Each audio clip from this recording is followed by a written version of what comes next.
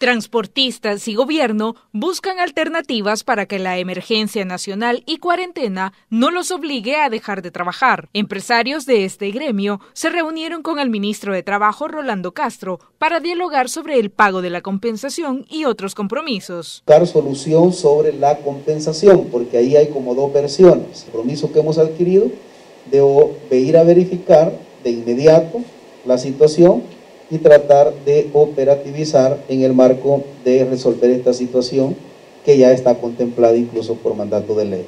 Garantizan la sanitización que prácticamente están haciendo y van a seguir haciendo a los buses y microbuses a fin de garantizar que la salud del pueblo salvadoreño que se traslada a través del transporte colectivo no va a correr ningún tipo de riesgo.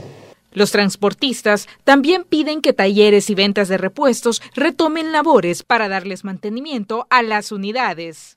La voluntad de otros temas, como es el tema de las ventas de repuestos y, como se llama, lubricantes, que necesitamos todos esos eh, componentes porque las unidades sin repuestos, sin lubricantes, sin aceite, no, no pueden funcionar. Estos buses y microbuses necesitan mantenimiento y hoy por hoy no hay talleres abiertos no hay quien le dé el mantenimiento. Los preacuerdos serán analizados por el Ejecutivo y se llegará a un consenso el próximo jueves en una nueva reunión con los empresarios del transporte. Tatiana Funes, Noticiero Hechos.